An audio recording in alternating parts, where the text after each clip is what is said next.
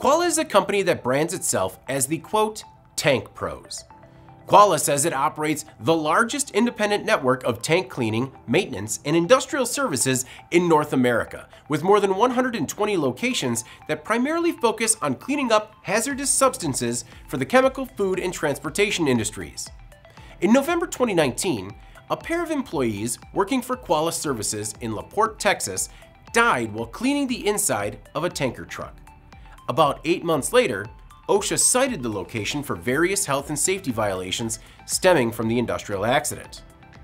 Last year, a similar incident claimed the life of a 53 year old worker, and it happened just two days before Christmas. According to OSHA, Quala Services disregarded federal safety standards that could have protected the employee from hazardous working conditions and prevented the fatal injury. For example, the company failed to make sure that atmospheric testing was performed inside the tank before the employee entered. Following an OSHA investigation, Quala was cited for eight repeat violations and now faces more than $800,000 in proposed penalties. Other serious violations include failing to prevent unauthorized entry into a permit required confined space, which exposed employees to explosion, inhalation, and asphyxiation hazards, Quala also failed to provide an attendant while employees were in such spaces.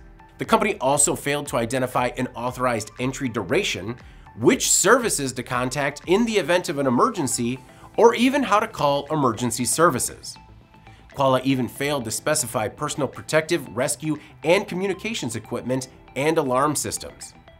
In a statement, OSHA Area Director Larissa Ibsen said that if Quala Services had acted responsibly and made the safety reforms as required in 2020, another employee would not have lost their life.